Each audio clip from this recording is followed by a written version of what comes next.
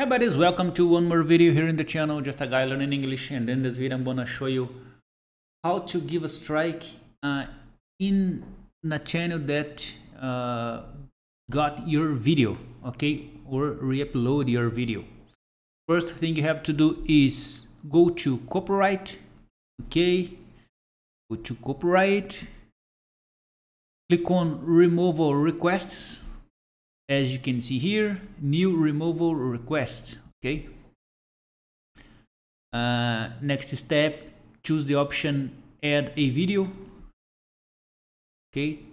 Type of work. Uh, video for a video for a video uh, song for a song okay? In this case it's a video. Okay from my YouTube channel, okay? Or from another YouTube channel I legally represent. If someone re-uploaded uh, your video, you use this, uh, this option. Okay, now paste here the URL from your video. Okay, now for example, uh, local of infringed content okay? Here you can choose entire video or timestamps. Uh, if someone else uh, made the mix using your video for example in this case. Uh, here you can uh, inform the time your video appears uh, in the in the mixing. Okay now you uh, you can paste here the the link of the the video which is in another channel okay? Paste the link here. Next step is add to list okay? You can add one or more links okay?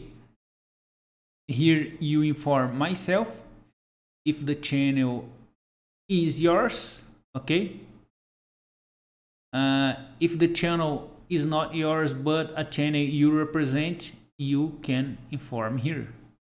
Uh, what you do in the channel for example manager or other other thing.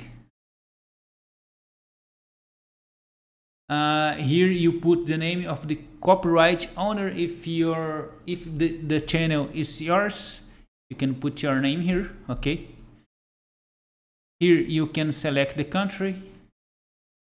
Phone. Okay this field is required so you have to to fill. Street address required. City required. Secondary email. Okay this is not required. You put uh, only if you uh, think is necessary. State.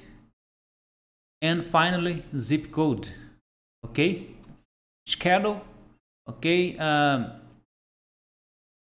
the person will have seven days to delete the video okay if he doesn't delete okay into seven days uh, youtube will strike their channel okay or standard if you want to strike in the same uh, in the same hour okay in the same time okay check these three boxes. Put your full name here. Okay and click on submit. Okay that's it. Uh, if you want to check the status of the the request go to copyright again. Go to removal requests and your request or requests uh, will be shown here okay? That's it. I hope you enjoyed this video. Thumbs up if you liked. And i'm sorry for the language mistakes